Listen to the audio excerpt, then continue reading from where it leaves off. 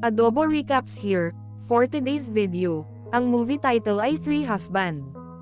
Ang pelikula ay tungkol sa isang babae, na may pagnanais na magpaararo ng kanyang bukid sa lahat ng oras, ngunit ang kanyang ama ay nakakita ng pagkakataon, at ginawa itong isang paraan upang kumita sila ng pera. Nagsimula ang pelikula sa pagpapakita ng isang lalaking nagngangalang Four Eyes, ang lalaking nakasalamin na madalas inuubos ang kanyang oras sa mga nightclubs, at nagre-rente ng ilang mga babae upang gamutin ang kalungkutan sa kanyang puso. Nang makipagdeal siya sa isang kolehiyala, biglang may mga pulis na dumating at ne-raid sila.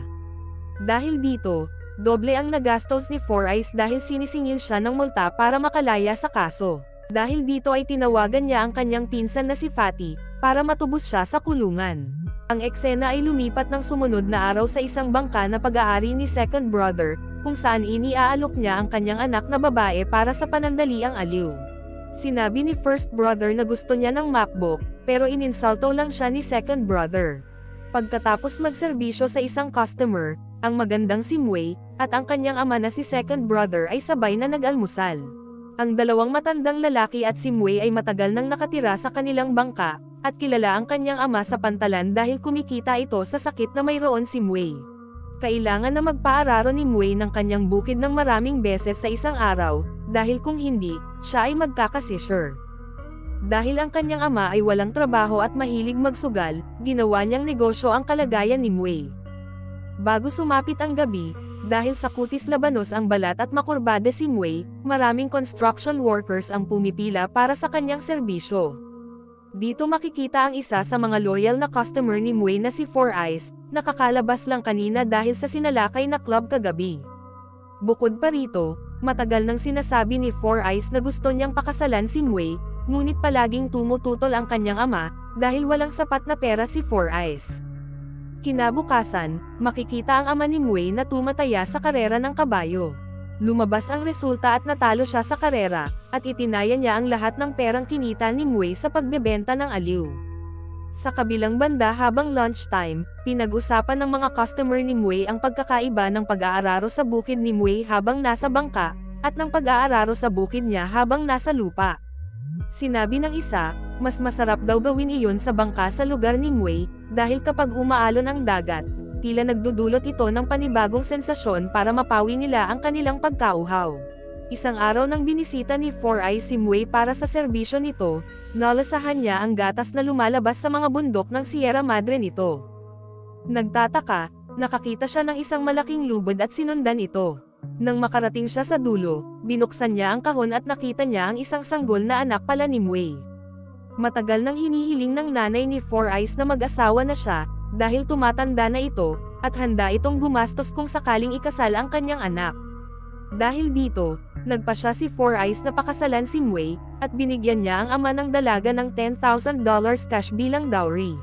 Sa sumunod na eksena, natupad ang kanyang hiling at ikinasal si Mui at Four Eyes. Habang ikinakasal ang dalawa, nagkwentuhan ang mga katrabaho ni Four Eyes kung paano nila natikman ang paninda ni Mui, at nakakahinayang dahil hindi na mauulit iyon, dahil asawa na siya ni Four Eyes. Pagkatapos magpakasal, lumipat si Mui sa masikip at magulong bahay nila Four Eyes sa gitna ng lungsod. Nakatira sila kasama ang kanyang ina, at dahil laging naiinip si Mui sa lahat ng oras, palagi silang naglalaan ng oras sa pag-aararo at matinding bakbakan. Dahil sa sobrang lakas ng mga boses nila, gumagamit ng headset ang nanay niya, pati na rin ang baby at nakikinig ng mga kanta ng Bini. Dahil patuloy silang umaariba ng hindi alam ang oras, madalas din silang makatanggap ng mga reports at babala mula sa kanilang mga kapitbahay.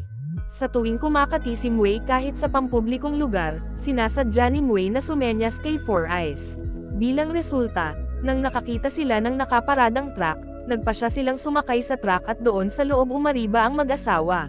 Dumating ang driver ng truck at umalis, kaya namasyal sila sa syudad habang umaariba.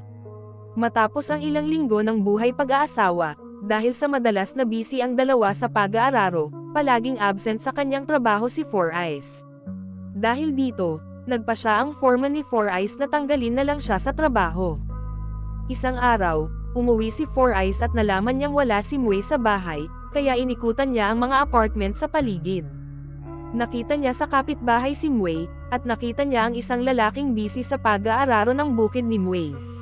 Galit na kinuha ni Four Eyes ang asawa, ngunit sinabi ng lalaki na si Mui ang unang nagbigay ng intensyon. Hindi naniniwala si Four Eyes at nagagalit na iniuwi ang asawa.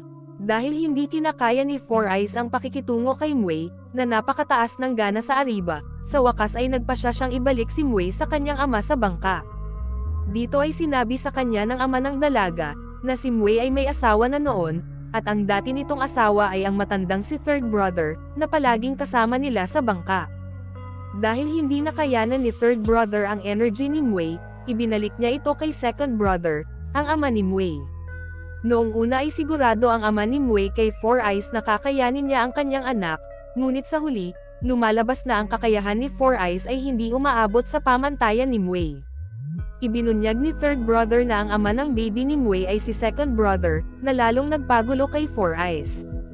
Sa gabi, muling umatake ang sakit sa pag-ibig ni Mui at kailangan niyang magpaararo. Lumapit si Four Eyes kay Mui para ibigay ang kailangan niya, ngunit maaga itong natapos, na lalong ikinadismaya ni Mui.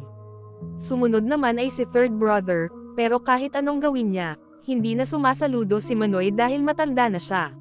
Ang huli ay ang kanyang ama na naglabas ng kanyang huling alas, at tinanggal nito ang kanyang pekeng kamay, at alam mo na siguro ang sumunod na nangyari. Kinabukasan, naghanap ng paraan si Four Eyes para malampasan ang problema ni Mui na talagang wala na sa kontrol. Tumawag siya ng doktor para suriin si Mui, at alamin kung ano ang maaari nilang gawin bilang remedyo. Matapos suriin, gumamit ang doktor ng papaya upang ipakita kung gaano ka-espesyal ang kalagayan ni Mui. Bihira lang daw ang mga ganitong kaso, at sinabi ng doktor na hindi niya kayang lutisin ito. Pagkaalis ng doktor ay gumamit ng cellphone si Four Eyes, binuksan niya ang vibrate mode nito at ipinahiram kay Mui. Ginamit ni Mui ang cellphone ni Four Eyes, at nagustuhan niya ang pakiramdam ng inilagay niya ito malapit sa kanyang donut. Nagdasal ang tatlo para gumaling si Mui, ngunit wala pa ring nangyari. Wala silang ibang pagpipilian kundi payagan siyang gawin ang dati niyang ginagawa, ang magbenta ng panandaliang aliw. Nagbukas muli ang exciting na sports service ng tatlo at syempre, naging karagdagang kita din ito para sa kanila. Mula nang buksan nila ang baretilyo para kay Mui, dumagsa ang mga construction workers at mangingisda, upang pumila para maka-avail ng mga serbisyo ni Mui. Nagulat si Four Eyes nang makita niyang nakapila rin ang mga kaibigan niya at isa niyang pinsan. Sinabi pa ng isa na dapat isantabi ni Four Eyes ang kanyang personal na nararamdaman, at ipikit na lang niya ang kanyang mga mata dahil magbabayad naman sila. Makalipas ang ilang linggo, dumating ang mga pulis sa kanilang bangka at nag-iimbestiga dahil may mga nagulat kung ano ang nangyayari sa kanilang bangka.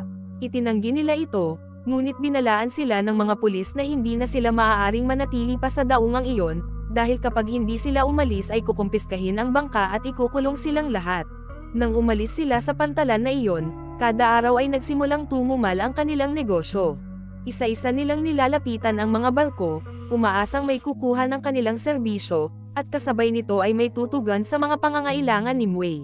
May nagsabi minsan na ang sakit na naranasan ni Mui ay dulot ng isang alamat sa dagat ng Hong Kong, kaya gumamit sila ng siil at nilagyan na lang ito ng magic balloon, at hulaan nyo na lang kung paano nila ginamit iyon. Nang matapos ni Mui ang paggamit ng siil at napatid na ang pagkauhaw nito, niluto ng tatlo ang malaking siil at magkasama silang naghanda para sa hapunan. Mukhang masaya naman si Mui dahil nasimulan na niyang pigilan ang sarili kahit saglit lang. Kinabukasan, nagpatuloy sila sa paghahanap ng mga customer sa isang pantalan. May isang customer na kumuha ng kanilang mga serbisyo, at bumili din sila ng pagkain at naglibot sa palengke, habang nag-aalok ng kanilang serbisyo sa mga potential customer. Nakahanap sila ng maraming bagong customer sa pantalan, at halos lahat ng lalaki ay gustong subukan ang special na donut ni Mui. Nang maglaon, maraming nagagalit na mga babae nang nalaman nila ang tungkol sa pagpunta ng kanilang mga asawa kay Mui, na nagbebenta ng panandaliang aliw, at nagdagsaan sila upang hanapin ang kinaroroonan ni Mui.